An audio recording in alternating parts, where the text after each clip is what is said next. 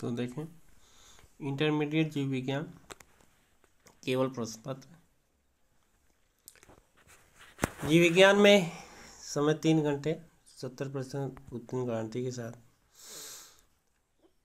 प्रारंभ के पंद्रह मिनट परीक्षार्थियों को प्रश्न पत्र पढ़ने के लिए निर्धारित है। सभी प्रश्न अनिवार्य है। आवश्यकता अनुसार अपने पुष्टि नामांकित रेखा चित्रों द्वारा कीजिए।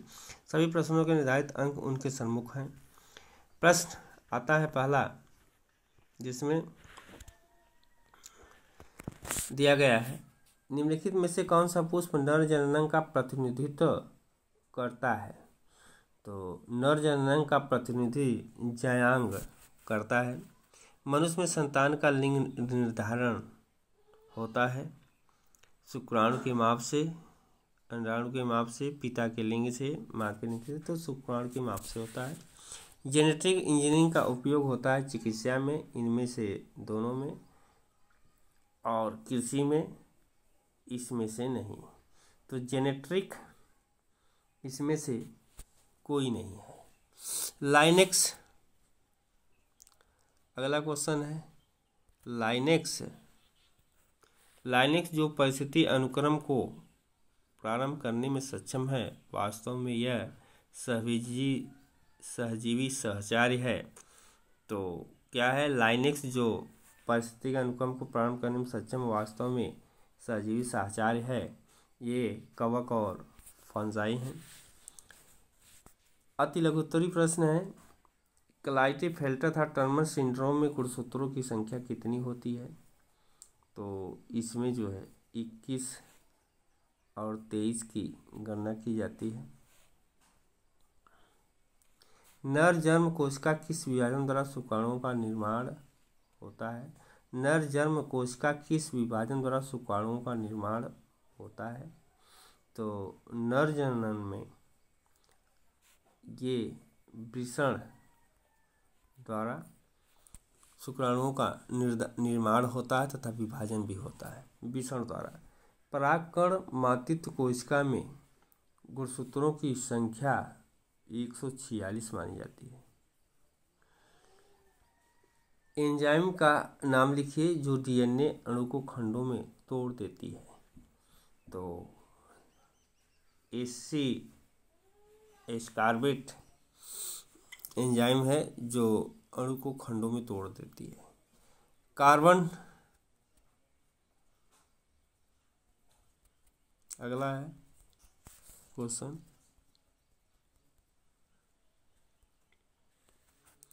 कार्बन डाइऑक्साइड का स्थितिकरण करने के कारण पौधों को क्या कहते हैं? कार्बन ऑक्साइड का स्थितिकरण के कारण पौधों को क्या कहते हैं? तो पौधे जो है, नाइट्रोजनीकरण के कारण भूमि में अस्थाई उगते हैं तथा वह नाइट्रोजनीकरण उसे कहते हैं। पक्षियों में लिंग निर्धारण को स्पष्ट कीजिए। पक्षियों में लिंग निर्धारण उनकी जाति तथा वंशज के आधार पर होता है। वार्सन और फिक डीएनए कुंडली मॉडल का स्वच्छ नामांकित कीजिए। तो वार्सन द्वारा और किक द्वारा इनका निर्धारण प्रतिस्पर्धा के कुंडली से विभाजित किया जाता है, जिसमें गुणसूत्र एक दूसरे पूछ से लगे हुए जुड़े होते हैं। ये उनका नामांकित चित्र है। कुंडली युक्त मॉडल है। और इस कुंडली में एक दूसरे से पूछ से पूछ सटाए हुए बधे होते हैं।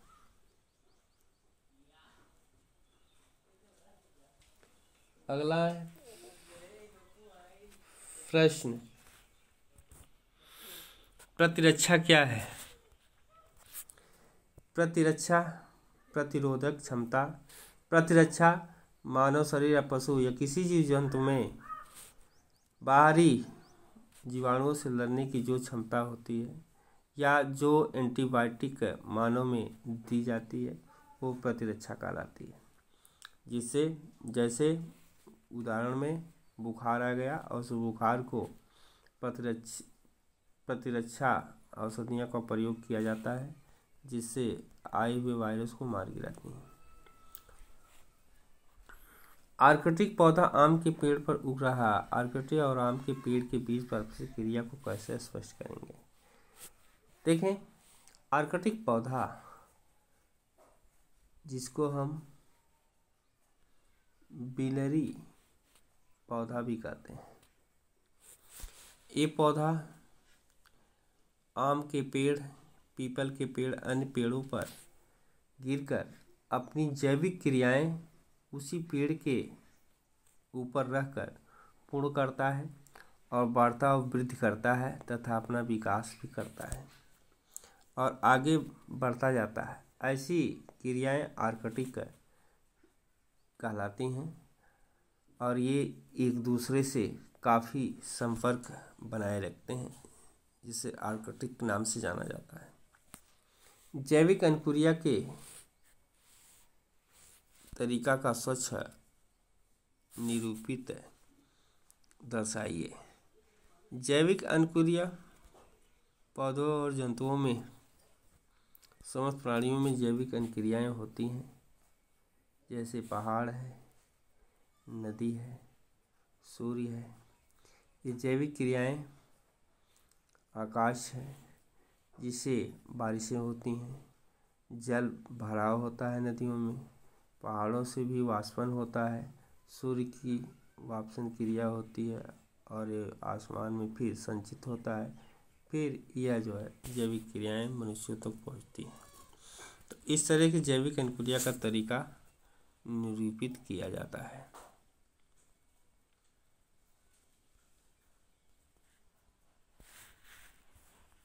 प्रश्न संख्या पाँच है। लघु बीजाणुधानी गुरु बीजाणुधन के बीच में तीन अंतर होते हैं। तीन अंतर लिखे पहला, लघु बीजाणुहीनी में एक निश्चित कोशिका में होते हैं, जबकि ये गुण वाले एक निश्चित कोशिका के द्वारा ही पैदा होते हैं। यह समान रूप में श्रृंखलावित होते हैं, जबकि ये समान रूप श्रृंखलावित नहीं होते हैं। यह एक दूसरे से जो, जुड़े होते हैं, ये एक दूसरे से जुड़े नहीं होते। ये ये अग्र की तरफ़ बढ़ते हैं, जबकि ये अस्थायी तो होते हैं। तो लघुड़क लघु बीजक में यही अंतर है दोनों में। गुरु बीजधानी और लघु बीजधानी में। हमारे समाज में लड़कियाँ पैदा होने पर दोष केवल महिलाओं को दिया जाता है। बताइए कि यह सही क्यों नहीं है? यह प्रश्न है। हमारे समाज में लड़कियाँ पैदा होने पर औरतों को दोष देना एक कलंकित साबित होता है। क्योंकि माता पिता के गुणों पर निर्धारित होने से ये जो है लिंग निर्धारण होता है तथा गर्भाशय में होने वाली क्रियाओं से निर्धारण किया जाता है कि पुत्र होगा या पुत्री होगी। इसलिए यह कथन जो है, असत्य है। एक संकर क्रास करते हुए मेडल को प्रभाविता का नियम की व्याख्या कीजिए। प्रसंख्या ग है। प्रभाविता का नियम मेंडल ने दिया था। प्रभाविता का नियम किसे कहते हैं? जब प्रजनन एक या दो प्राणी में नर और मादा में कराया जाता है तो जब किसी एक प्राणी का गुड़ छिप जाता है और दूसरे का हाथी हो जाता है तो उसे हम प्रभाविता का नियम कहते हैं। जैसे व्याख्या में कैपिटल टी और स्मॉल टी प्रयोग किया गया। संकर कराया गया। तो इनसे आने वाली संतानें, कैपिटल टी कैपिटल टी पैदा हुई। कैपिटल टी, स्मॉल टी, इस तरह से प्रयोग होता है। तो इसी को हम प्रभाविता का नियम कहते हैं। डीएनए कुंडली की कौन सी विशेषता से वाटसन और डीएनए ने सेमी कंट्री रूप को कल्पित करने में सहयोग किया? जिनकी व्याख्या कीजिए। तो यह हम डीएनए कुंडली में हमने और आरएनए, दो कुंडलियाँ होती हैं तो हमें डीएनए कुंडली का वर्णन देना है। सिंक्रोजिटिव में समसूत्री विभाजन कहते हैं। समसूत्री विभाजन में आने वाले प्रथम द्वितीय तृतीय चतुर्थ, लगभग एकष्ट विभाजन होता है। समसूत्री विभाजन जेनेटिव की एक दूसरे से जुड़े होते हैं। उनकी समय निर्धारण होती है और समय के निर्धारण के साथ साथ एक दूसरे से जुड़कर जो है समसूत्री विभाजन को डीएनए में उत्पन्न होते हैं। अगला क्वेश्चन है इसी तरह। मलेरिया परजीवी का जीवन चक्र का स्वच्छ नामांकित चित्र लिखिए। तो मलेरिया परजीवी का जीवन चित्र लिखिए। ये कहाँ से पैदा होते हैं? जल की अधिकता से कचड़े से, मच्छर के काटने से, लार्वा जैसी संरचनाएँ बनती हैं जो मानव शरीर में प्रभावित होती हैं और एक दूसरे से ये संरचनाएँ होती हैं, जिसमें लार्वा हमारी मांसपेशियों को निष्क्रिय करने में लग जाते हैं तथा ये धीरे धीरे इनका प्रकोप बढ़ने से आदमी की मृत्यु भी हो सकती है। तो जीवन चक्र इनका चौबीस घंटे प्रति की दर से इनकी गति दो पॉइंट होती है। जैविक जीव विज्ञान के अध्ययन में ना, संक्रामक रोगों को नियंत्रण करने में किस प्रकार हमारी सहायता की जाती देखिए, जैविक में संक्रामक रोग जैसे हैजा तपेदिक, डेंगू, मलेरिया, टाइफाइड आदि होते हैं, जिसमें कोविड नाइन और हैजा प्रमुख संक्रामक रोग को नियंत्रण करने में किस प्रकार हमारी सहायता है? जैविक जीव विज्ञान के अध्ययन में। जैविक विज्ञान के औषधियों के रूप में तथा सावधानियाँ बरतने के रूप में तीसरा नियम का पालन करने में। आदि हम करने से, हम संक्रामक रोगों से बच सकते हैं। इनके बाद आता है जैव उर्वरक किस प्रकार से मृदा की उर्वरता को बढ़ाता है? तो जैव उर्वरक किस प्रकार मृदा की उर्वरक को बढ़ाता है? जैव उर्वरक जिसमें घास फूस घर के कचड़े, गोबर आदि एक गड्ढे खोद कर उसमें हम संचित करते हैं। और वह जब सड़ कर सड़ जाता है तो एक मिथिन इसमें गैस निकलती है। और इससे जो है, ये उत्पन्न होता है। और यह खेतों में प्रयोग की जाती हैं।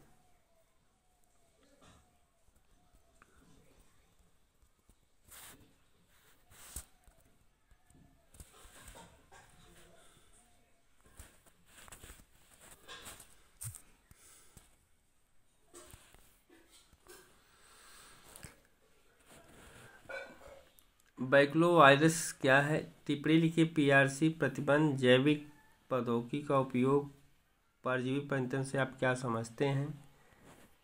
शीत निष्क्रियता और ग्रीष्म निष्क्रियता से क्या जानते हैं? वायुस्क्रीय अंतरोती मनुष्य के नर्थ जनन का सचित वर्णन, शुक्राणु कहाँ संचित होता है? पुष्पादमी में लघु ब्रीज का सचित वर्णन, आनुवंशिक कूट क्या इसकी विशेषताएँ मेंडल के पृथ्वीकरण का नियम, अनुकूलन की परिभाषा भौगोलिक क्षेत्र में जाति क्षति के प्रमुख कारण आदि क्वेश्चन हैं। समय के अभाव में इन क्वेश्चनों को आप पढ़ लीजिए। और समय के अभाव में देखते हुए आगे विस्तृत अध्ययन देंगे।